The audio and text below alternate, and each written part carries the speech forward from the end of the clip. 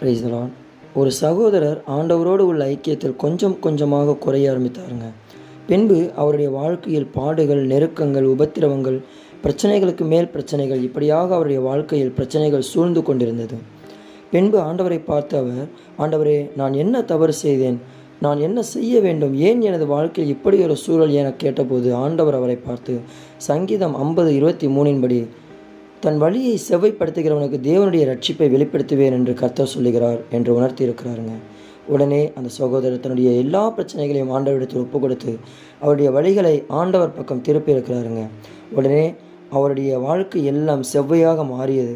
பிரச்சனைகள் எல்லாம் விலகி போயிடுச்சுங்க இதே போல் நீங்களும் ஒரு சூழலில் இருந்தீங்க அப்படின்னா கர்த்தரை பார்த்து ஆண்டவரே நான் எனது வழியை உம் பக்கம் திருப்புகிறேன். எனக்கு உதவி செய்வீராக என்று கேட்பீர்களானால் நிச்சயமாகவே கர்த்தர் இன்றைக்கு உங்களுக்கு தேவனுடைய ரட்சிப்பை வெளிப்படுத்தி ரட்சிப்பாராக.